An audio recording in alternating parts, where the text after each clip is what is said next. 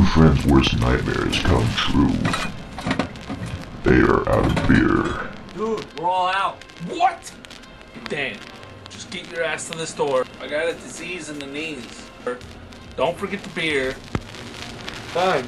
Be that way. And it's zombie season.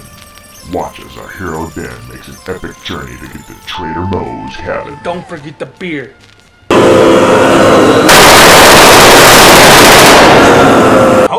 Shit. Look who the cat dragged in. You know there's a shitload of zombies out there? So what'll it be?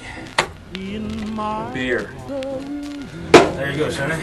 Yep. You got yourself a nice day now. Witness Dan's epic shootout against five zombies. And the betrayal of his friend Josh. What the fuck took you so long? Bitch, you better reconcile the motherfucking cleanness, son. This Halloween, you're going to Run like hell. Run like hell. Run like hell. Run like hell.